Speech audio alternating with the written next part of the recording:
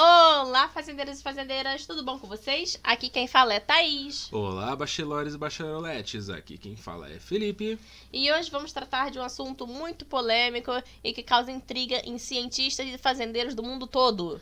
E que se trata do grazing, ou pastar dos seus bichinhos. Vale a pena ou não vale? Vamos descobrir? Opa, e conceitualmente, o que, que é esse pastar? Olha, gente, é como o nome já diz, é basicamente você colocar os animais pra fora para eles, é, com a promessa de que eles melhorem o humor e se- sejam alimentados, né, pela grama. Mas isso funciona? Eu acho que quem já jogou já percebeu que isso é um pouco intrigante, meio, meio mal esclarecido pelo próprio jogo. Porque muitas vezes você coloca pra fora e nada acontece, nem o humor, nem a comida sobe.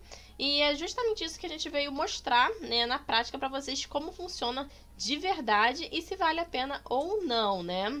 É... Fê, qual é o primeiro problema, né, de você botar, né, nem é problema, mas tipo uma ressalva.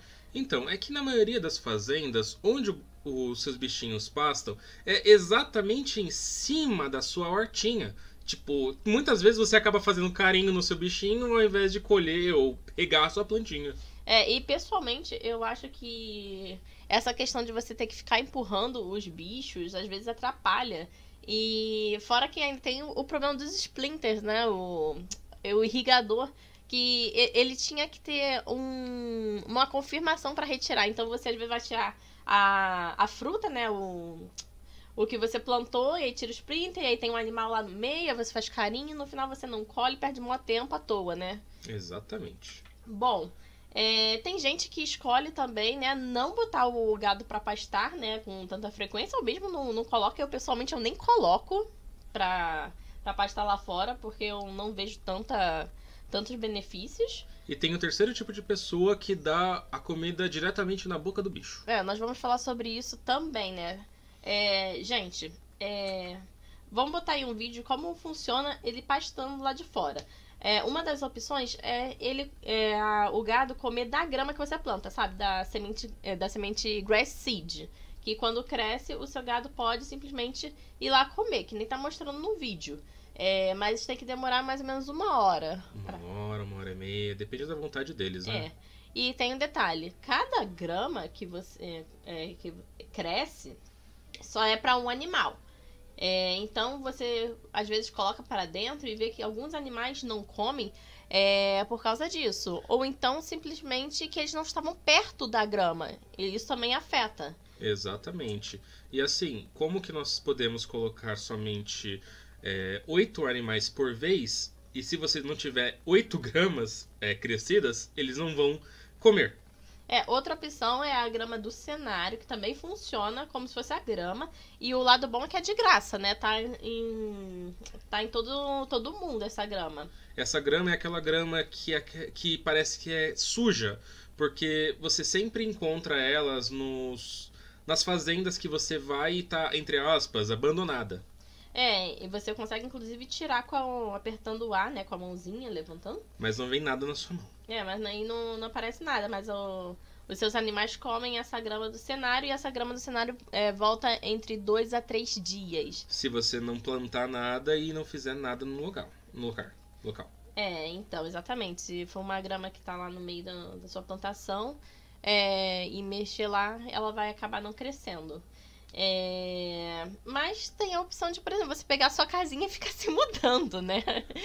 pra onde tem a, a grama crescida. É uma opção. Pra onde tem a sol, é pra lá que eu vou.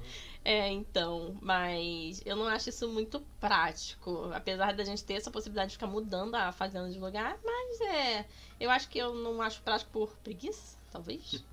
É, gente, é, Fê, fala aí um pouquinho das comidas. Então, a- quando você começa o jogo, você ganha do Doc o moinho que te permite fazer o Animal Feed level 1.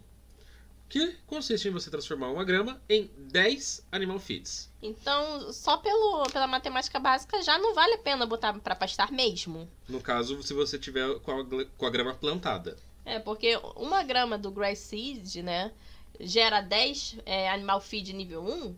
Então é mais fácil você colher e transformar lá no moinho em 10. E aí você vai poder animar 10 animais do que um só. Então, e já a questão do humor, você conseguiria só colocando ele para fora, sem precisar comer, Uhum. mas também é, compensa mais você fazer as outras é, rações especiais, que também é, é, ajuda mais, né, do que... Que usam Fooder Corn e Soybean, não é? É, exatamente. Vamos deixar aí onde você consegue Fooder Corn, que inclusive você pode vender 30 e vai habilitar lá no General Store de pastilha. O único que não dá pra fazer isso é com a grama, né? Porque você só pode encontrar sementes catando elas. Mas é muito fácil, você consegue até seis sementes todo dia. E um, um, um, um, slot, não, um, um ponto de, de semente é perto do TP de Calisson, lá daquela galinha, sabe? Então se você já terminou a história e já tem o teleporte já habilitado, é só você ir todo dia ali no, no, no TP de Calisson, pega as 3 gramas e já tem 3 garantida.